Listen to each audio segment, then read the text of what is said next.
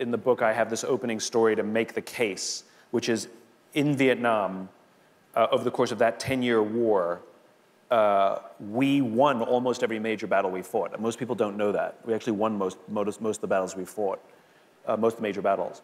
Uh, over the course of those 10 years, we lost 58,000 uh, soldiers and Marines. They lost uh, over 3 million. And so it raises the very interesting question if you win the battles and you decimate your enemy, how do you lose the war? And so that's one of the things that got me interested in, in this definition of the infinite game, which is clearly there's more than one definition of winning and losing.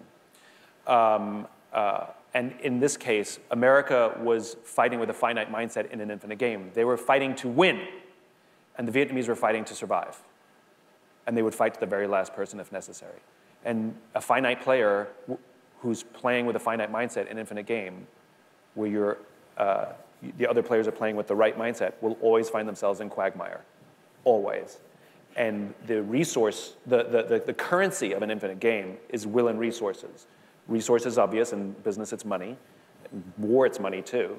Um, but there's will of the people. Remember, we left Vietnam because of the will of the people back home. Yep. And and will is one of those things that's very often forgotten. Companies think they're strong when they're rich. Enron was rich. GE was rich. GE is a shadow of its former self, you know?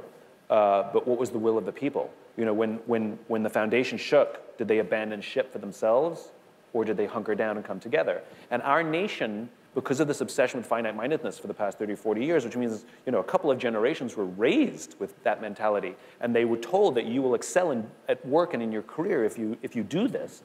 And now they're the senior executives operating under that mentality. Under that training. So our nation double, we, we over-indexed rugged individualism.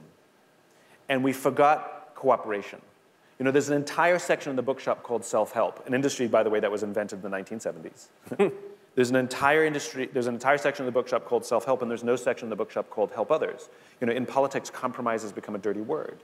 And the reality, if you if you have been, if you are married, or if you have a relationship, um, good luck with with trying to always be right.